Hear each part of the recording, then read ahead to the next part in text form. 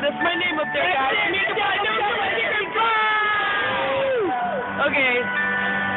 You saw it here first, guys. That's me giving the rock sign.